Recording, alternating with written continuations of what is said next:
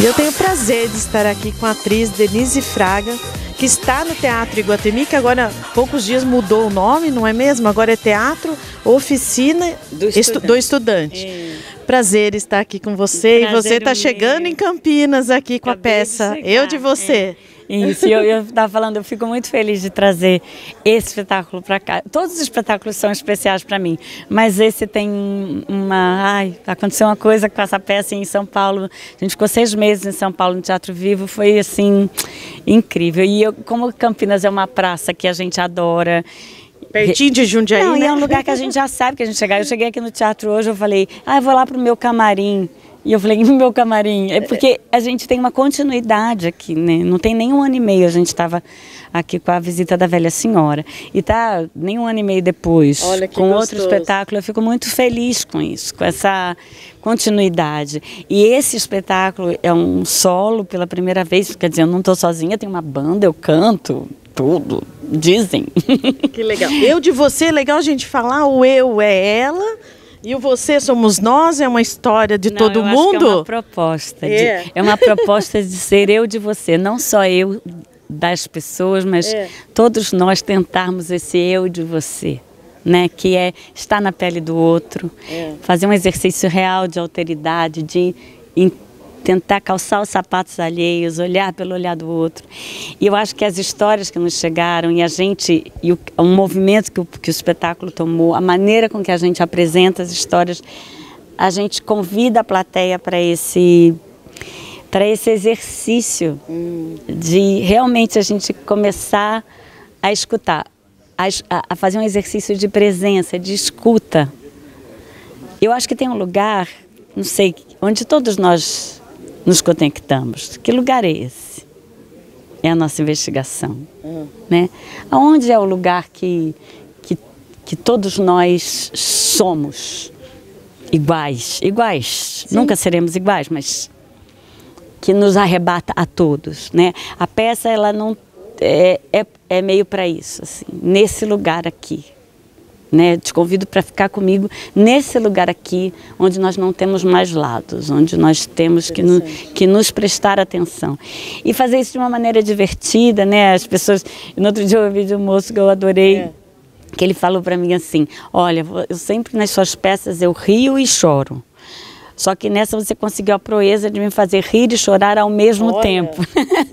eu fiquei... como uma atriz talentosa não, como você, não é? a peça tem essa brincadeira mesmo, essa montanha russa de emoções, assim, de ir um, de um lugar para o outro. Você estava falando, eu te cortei, é um solo e você vem com a banda também. Tem todo... Isso. Nós eu... não podemos contar, logicamente, que vocês têm que vir assistir, mas eu já, já dei aquela cantadinha na Denise que precisem para Jundiaí no nosso Teatro Politeama, que a é maravilhoso maravilhoso. Vai, a gente sempre vai, vai para Jundiaí.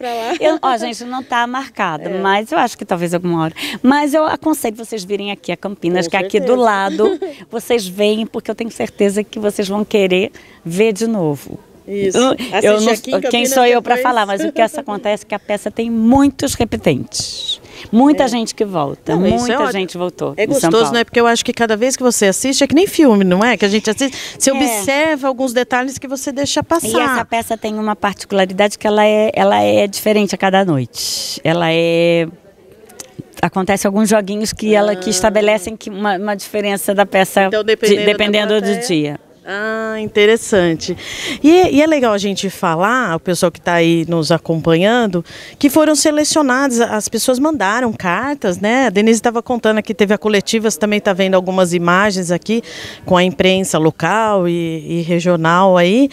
E, e, vocês puseram um anúncio no jornal, em rede social, falando para as pessoas mandarem histórias do seu cotidiano, né? Achei tão isso, interessante é. isso. No próprio, no próprio, no próprio vídeo que a gente pedia as histórias na rede social, gente fez um anúncio no jornal também.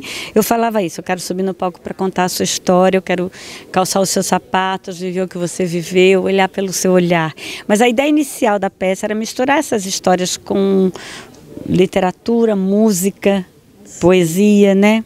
O que, que a Cláudia viveu, que, igual aquela canção do Chico. Fernando Pessoa escreveu esse poema e se o Otávio quando estivesse passando por isso, tivesse lido esse poema do Pessoa, talvez ele passasse melhor, né? Essa trança de entre os, eu sempre falo que, que quem lê quem lê Dostoiévski Fernando Pessoa no mínimo vai sofrer mais bonito, porque sofre com a cumplicidade dos poetas. Eu acho que é uma pessoa que vive acompanhada da arte, que vai ao teatro, que vai ao cinema, que lê ela é uma que ouve boa música, né? Eu acho que quando você está sofrendo, você passa pelos seus dramas com companhia, pelo menos, porque você tem a maior capacidade de compreensão de que você faz parte de uma humanidade, onde até Dostoiévski escreveu aquilo, então ele viveu aquilo que você está vendo também, onde até a Clarice escreveu, Clarice Lispector escreveu aquele conto, Drummond fez esse poema, Chico fez essa música sobre aquele mesmo tema que você agora chora suas lágrimas. Então, é, eu acho que, que quem vive arte de arte, eu sempre falo, a arte nos salva da mediocridade dos Sim. dias, né? Ela nos põe em outro lugar. Para você, o que, que significa o teatro? Tem sido a minha vida. Mas assim, eu acho que o teatro é um, é um ritual é, muito poderoso de reflexão, onde as pessoas fazem um pacto que elas vão se unir por uma história. Né? Elas vão se unir naquela noite. É um, eu falo até na peça, eu falo sobre um pouco é? isso. Que legal.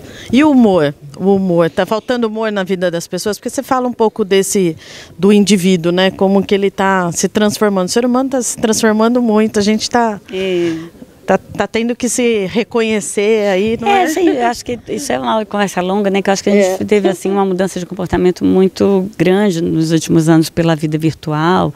Eu acho que a gente está tomando um olé aí da tecnologia, uma coisa fascinante, mas que a gente está usando, está se lambuzando, né? É.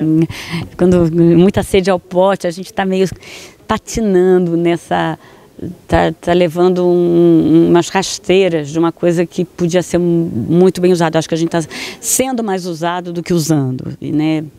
Mas eu acho que, que o humor que você perguntou, eu acredito, eu sempre falo, Denise, tudo que você faz tem humor? Não, não tem tudo mais ou menos, acho que vai ter, porque não é questão de ser engraçada. Eu acredito no humor, eu acredito no humor como uma ferramenta para o autoconhecimento. Você, quando você ri, você se reconhece, você ri porque você entende que você faz aquilo e por isso você ri.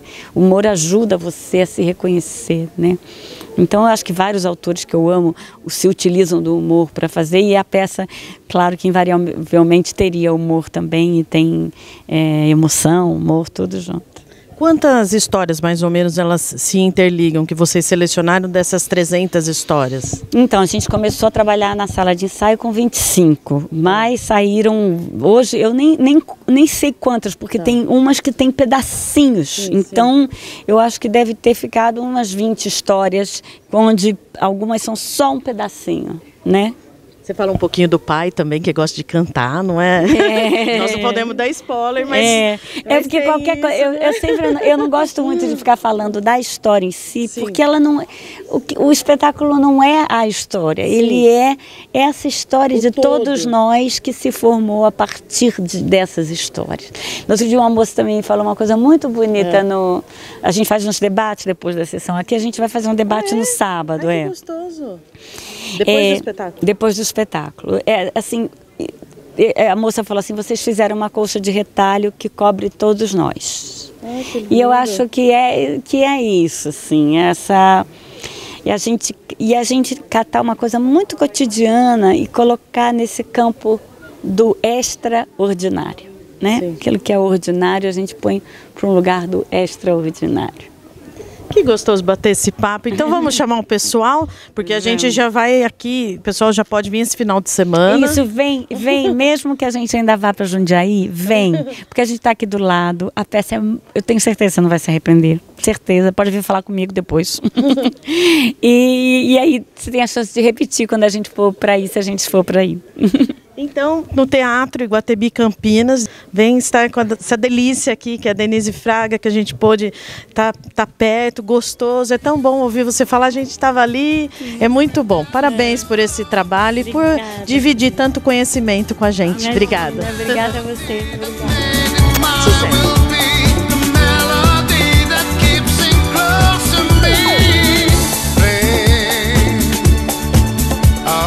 Acordo às seis da manhã, morrendo de sono, entro no chuveiro, não. Ponho água pra ferver, tomo meu banho, ponho meu traje social, meu sapato de salto, tem uma bolha no meu pé, band-aid, faço a minha maquiagem, chamo os meninos, acorda! Ninguém quer ir pra escola, tem que ir, tem que ir, tem que ir! O trabalho acumula, o corpo a cabeça dói, não consigo fazer a fisioterapia que eu tenho que fazer no ombro, não consigo visitar minha família no interior.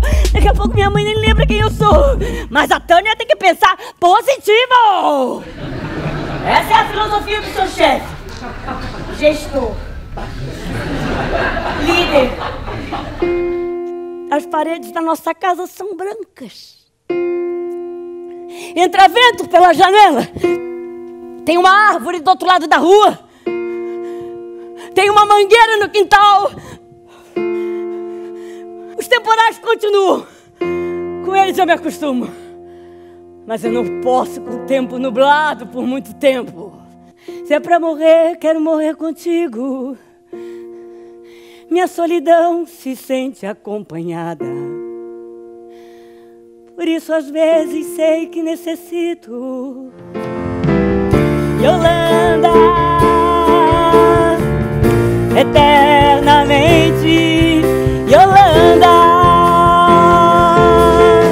você é luz, é raio, estrela e lua manhã de sol. Meu iaia, ioiô, fazer amor de madrugada. Amor com jeito de virada. Fazer amor de. Ai, eu adoro um karaokê.